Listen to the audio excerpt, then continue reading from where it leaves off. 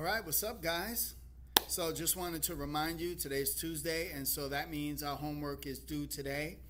Um, we're going to be doing some questions that you're going to have to answer.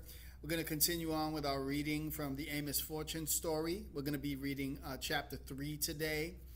Um, you're going to be listing the 13 colonies. Uh, we're going to be doing another reading from Benjamin Franklin today, some more questions. And we're going to watch a, a video on uh, Benjamin Franklin's uh, campaign, Join or Die. And, uh, and, and, so you have some work to do. And so don't forget that um, today is those assignments need to be in. Email them back to me. All right? Listen, guys, have a great rest of your day.